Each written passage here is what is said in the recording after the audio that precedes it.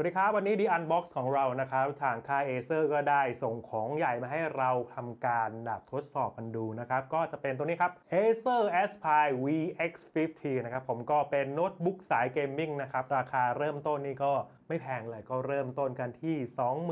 29,900 บาท แล้วก็อยู่ที่ราคา 32,000แล้วก็ตัวท็อปสุดก็อยู่ที่35,000ครับก็อย่างตัวนี้จะเป็นตัวท็อปสุดก็จะเป็นอยู่ที่ 35,000ครับ สิ่งที่ได้ก็คือเรื่องของการ์ดจอเรื่องของ SSD แล้วก็เรื่องของฮาร์ดไดรฟ์ที่มาแล้วพร้อมใช้ทันทีนะครับ ก็เดี๋ยวไปดูกันว่าข้างในเนี่ยเขาเป็นยังไงบ้างนะครับ เพราะว่าโน้ตบุ๊ก gaming กับความร้อนนี่เป็นเรื่องคู่กันนะครับ ทาง Acer จึงได้ออกแบบในเรื่องของกับช่องระบายความร้อนเนี่ยครับอยู่ที่ด้านหน้าของเครื่องเลยทั้ง 2 ช่องนี้นะครับ เรื่องของพอร์ตการเชื่อมต่อก็ถือว่าให้มาครบถ้วนพอสมควรนะก็คือจะมีทั้ง USB Type C นะฮะ แล้วก็มี USB มาตรฐานเป็น 2 ช่องก็เป็น 3.1 นะฮะ มี HDMI นะฮะ แล้วก็มีพอร์ตแลนอันนี้สำคัญมากสำหรับคนทำงาน แต่ว่าด้วยความบางของเขาเนี่ยนะฮะ ก็เลยจำเป็นต้องตัด drive DVD ออกไปนะฮะ พอร์ตการเชื่อมต่ออีกด้านก็จะเป็น USB แล้วก็จะเป็น card reader นะฮะ แล้วก็จะเป็นช่องเสียบหูฟังขนาด 3.5 ครับขุมพลังด้านในของเครื่องนะก็จะเป็น Intel Core i7 นะฮะ การ์ดจอแยกจาก NVIDIA GTX 1050 Ti นะฮะ ในตระกูลนี้เนี่ยถ้าเป็นตัวเล็กเขาจะให้เป็น 1050 ธรรมดาแต่ถ้าเป็นตัวท็อปอย่างตัวนี้จะเป็น 1050 Ti ฮะคือด้านหลังของตัวคีย์บอร์ดก็เป็นไฟ backlight สีแดงนะครับเราลองกดดูแล้วพบว่าปุ่มคีย์บอร์ดเนี่ยตอบสนองแบบค่อนข้างดีเลยล่ะคือแบบเด้งนิ้วติดนิ้วดีมาก แล้วก็ตัว trackpad เนี่ยให้มาคือมีขนาดใหญ่ แล้วก็น้ำหนักในการกดเนี่ยถือว่าดีเลยแหละแล้วก็ความแม่นยำเนี่ยสูงพอสมควรนะครับ มาดูกันเรื่องการรับสัญญาณ Wi-Fi กันดูนะครับ เพราะว่าหลาย ๆ คนเนี่ยมีโน้ตบุ๊ก gaming แล้วก็แบบที่บ้านเนี่ยก็ติดเน็ตแรงๆกันอยู่นะครับ ทีนี้เนี่ย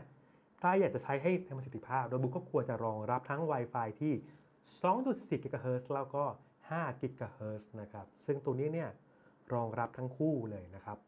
ครับสำหรับ Acer VX 15 ถ้าถามว่าน่าสนใจ น่าซื้อใช้ไหมต้องต้องบอกในอย่างนี้ก่อนว่าหนึ่งเลยคือคุณมองตัวเองว่าเป็นนักศึกษา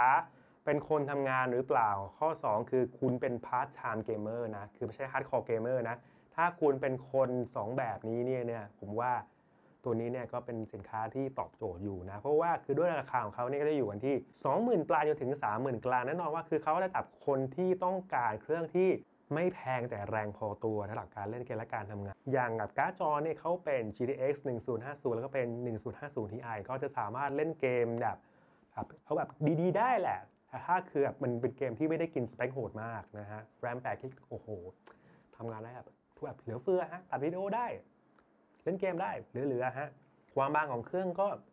ถือว่าดีเลยแหละ ก็คือถ้าเกิดเทียบกับความเป็น gaming ทั่วๆไปนะฮะก็ยังสามารถพกพาได้แต่ว่าน้ำหนักตัวเขาก็แบบนิดนึงอะนะฮะแต่ว่าคือด้วยเรื่องของดีไซน์อันนี้คือเราชอบมากเพราะว่า เดี๋ยวผมบอกแบบว่าคือบางทีเราเป็นคนทำงานแล้วบางทีเราพกโน้ตบุ๊กไปข้างนอกเนี่ยเขายังอยากได้ความภูมิฐานอยากได้ความเรียบหรูดูแพงบ้างคือแบบคือมันจะไม่ได้ดูเป็นของเล่นน่ะนะฮะซึ่งตัวนี้มันก็ตอบโจทย์อยู่นะสุดท้ายนี้ก็คือขอขอบคุณทาง Acer Thailand นะที่เอื้อเฟื้อสินค้าตัวนี้มาให้เราทำการ unbox กันนะฮะสำหรับใครที่สนใจในเรื่องของ gadget เรื่องของซอฟต์แวร์เรื่องของ IT นะฮะก็ยังไงก็ฝาก subscriber ช่องนี้กันเอาไว้ด้วยนะฮะก็ เดี๋ยวพบกันในคลิปต่อไปครับผมขอบคุณครับ สวัสดีครับ